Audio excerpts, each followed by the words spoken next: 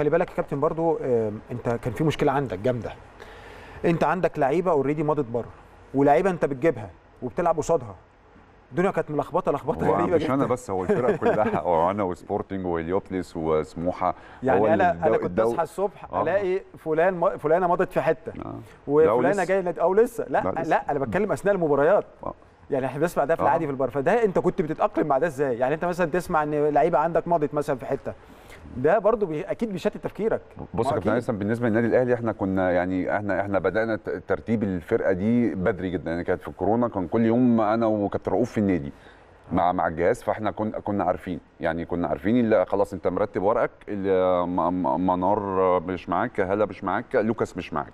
تمام. فأنت كنت مرتب الورق. آه. فأنت كنت عايز ما كنتش بتخش في أي ديل غير اللي أنت عايزه. اللي أنت عايزه صح. بس غير كده ما كناش بنروح للديل ده. تسمع بقى كلام إن النادي الأهلي بيكلم فلانة النادي الأهلي بيكلم مش عارف إيه فكلام كله أنت عارف طبعا ده تشتيت برضو يا كابتن. ده تشديد. بس أنت طبعا في أنت في النادي الأهلي عندك من الخبرات اللي أنت تتعامل مع. الكلام ده وأنت في الأول وفي الآخر ما بتردش. يعني استحالة. يعني اتعودنا في النادي الأهلي كده أنت مهما تسمع كلام وكلام غلط وبيتقال عليك كلام وعلى فرقتك كلام وعلى مجلس اداره كلام ودخل ومش عارف إيه وص...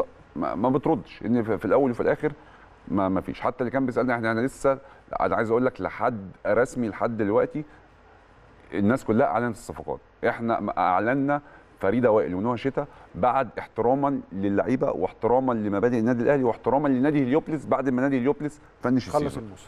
صحيح نفس يعني الكلام مي حلوة نفس الكلام يعني رنا النادي نفس الاهلي احترم تعاقده مع طبعاً. الأندية وما أعلنش طبعاً. إلا بعد نهايه طبعا الموسم ما بالنسبة اعلنش. الكلام بقى اللي كان بينزل على المواقع والكلام بس ده الأندية الثانية ما عملتش كده آه يعني ما, ما يعني ما- أنا اسف آه يعني يعني اللي وقع معاه لعيبتنا وكده ما. يعني ما الكلام بقى كده. كله كان. بينزل على المواقع ما كانش ليه علاقة بأي سوشيال ميديا للنادي الأهلي أو قناة النادي الأهلي أو المواقع أنت.